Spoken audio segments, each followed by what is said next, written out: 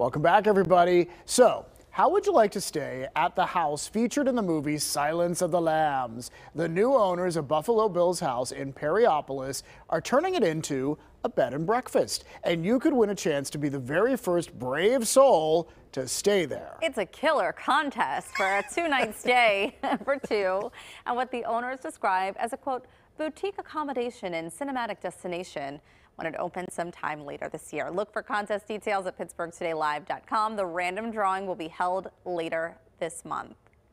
I think it's a fun idea. By the way, February 14th is the 30th anniversary of the release of the movie Silence of the Lambs. And CBS is releasing a new television series based on the movie thriller. And we're going to learn more about that show. It's called Clarice from the stars of the show, and that is on tomorrow's PTL.